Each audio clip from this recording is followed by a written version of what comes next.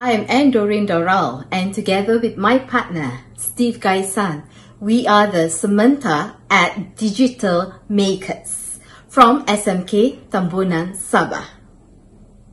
And we are here to share something exciting with all of you.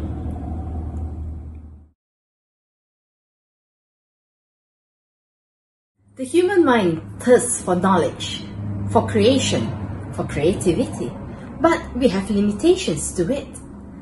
Imagine we are in a classroom and our students ask us questions that we don't have an answer for.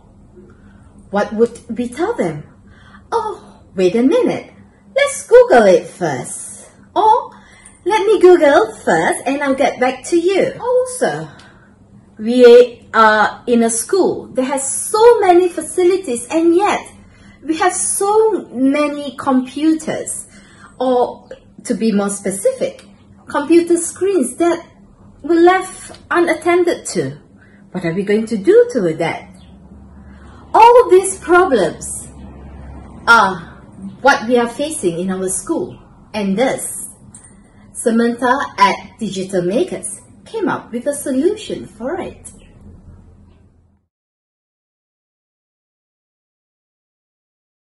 With all the problems that we are facing in school, we have come up with a solution.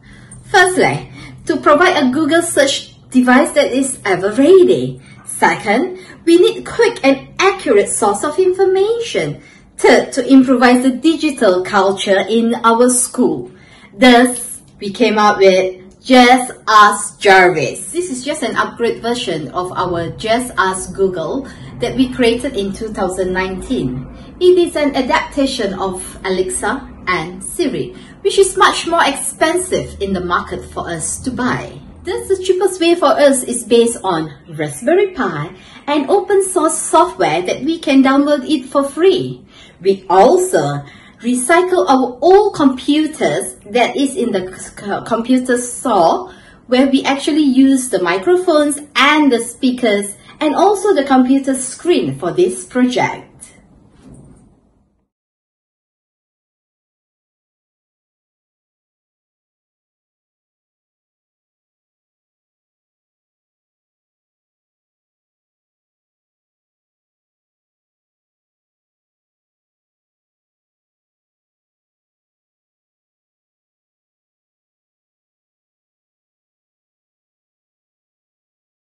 Uh, good morning. So today we are going to learn about uh, coding in uh, topic number three and the title of our um, activity is Python. Um, excuse me sir, uh, but we don't know anything about Python. Can you tell us what is the meaning of Python? Well, um, I'm not sure what is the meaning, but uh, my friend here can tell us what is Python. We have Jarvis here. Jarvis, what is Python? According to Wikipedia, Python is a high-level, interpreted, general-purpose programming language.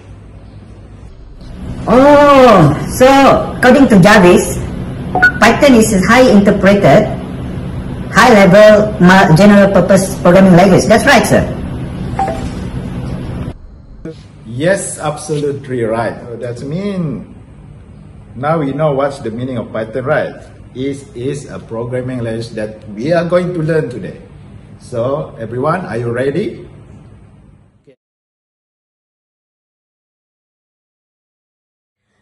All of us would go through this when we are teaching in class, especially me, teaching English language. And one student would be carrying up his hand asking me for the meaning of words. Another one at the back would be asking me another meaning of words. Someone in front would be calling me, teacher, I need help here. Someone on the left, teacher, please help me. Where am I, what's going to happen to me? I'll be stressed, running around the class. But yet again, that was before. And now, no problem we have Jarvis. It is friendly, faster, and more accurate.